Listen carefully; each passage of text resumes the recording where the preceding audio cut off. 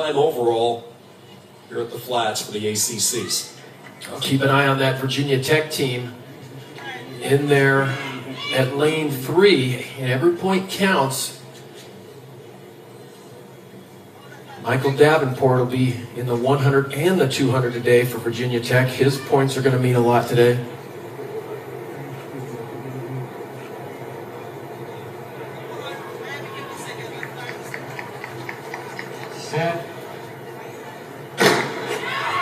Nyheim Hines to start it for the defending champs in this event for North Carolina State. Solid exchange for the Wolfpack. In fact, North Carolina State with their second leg, and Cravont Charleston, the talented freshman, will pass it off to Dowdy, another freshman for the Wolfpack. North Carolina State, Syracuse, Florida State right now as they enter the final turn, and it will be the Wolfpack Right now with the lead, Miami's Miles Valentine, a bad handoff with the Hurricanes.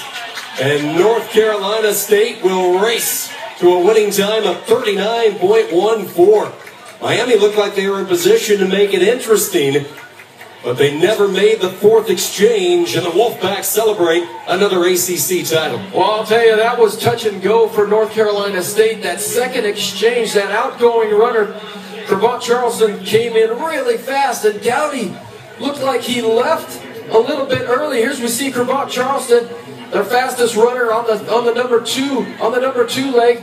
It was smooth sailing by the time the baton got to Dylan, Dylan Peebles, but yeah, Miami, they couldn't be patient enough to get that baton around in that third exchange. Great job on North Carolina State, but oh, some work to be done on that second handoff.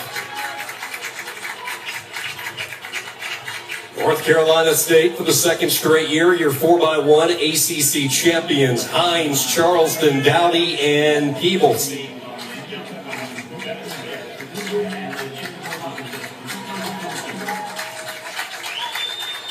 Take a look at the official results. Last year, the Wolfpack won it at 39-4-2. This year, they improved their time. 39-1-4, the winning time for NC State. Florida State picks up second place. The bronze goes to Virginia Tech. Well, the real shocker out of that race is Clemson does not finish. They'll get zero points. And like I said, you know, it doesn't, doesn't really matter what heat you're in. You have to run your best. We're going to see some of those teams in the first heat. Now they'll filter back in and, and, and score here prominently.